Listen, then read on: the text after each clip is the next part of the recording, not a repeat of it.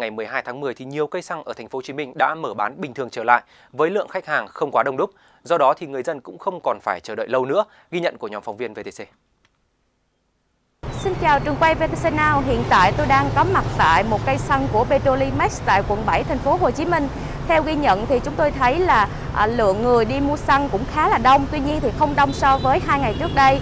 Và cái việc mà thiếu xăng là hầu như hầu như là đã được giải quyết và người dân có thể đổ đầy bình khác với những ngày trước đây. Đây đây bình được chị?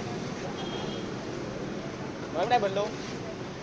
Đây có lẽ là câu nói mà người dân thành phố Hồ Chí Minh thích nói nhất trong ngày hôm nay. Việc được đổ đầy bình xăng là câu chuyện khá xa xỉ của hai ngày hôm trước. Tuy nhiên đến hôm nay, nhiều người đã có thể làm được điều này. Về lượng khách mua xăng, theo ghi nhận tại một vài cây xăng ở quận 7, một số nơi vẫn còn tình trạng đông đúc, tuy nhiên không nghiêm trọng như hai ngày trước đó.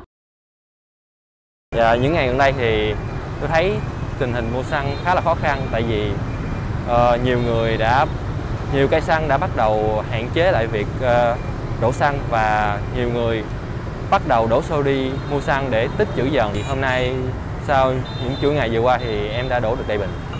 Rất là sung sướng hai ngày qua đổ xăng rất là khó, nhưng mà trong ngày hôm nay là đổ xăng rất là ờ, dễ, nhưng mà từ ở quận 7 qua đây thì đổ được, nhưng mà mấy quận khác không biết. Thấy hai ngày trước là đổ xếp hàng đông, cực kỳ đông, đứng rất là đông.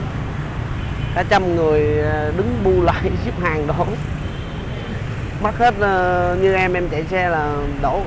Bữa em đổ, hai ngày trước là em đổ xếp hàng hai lần, là mất hết một, gần một tiếng rưỡi một tiếng rưỡi tại vì chạy xe cái này nó đâu một phút nó đâu được bao nhiêu tiền đâu mà đổ, đổ hết tiếng rưỡi là trong khi đó mất hết bao nhiêu phút dù vậy, vẫn còn một số cửa hàng tiếp tục đóng cửa, trưng bảng hết xăng hoặc tạm dừng hoạt động để tiếp nhiên liệu, nhưng thực tế bên trong lại không có xe bồn nào đến tiếp xăng dầu.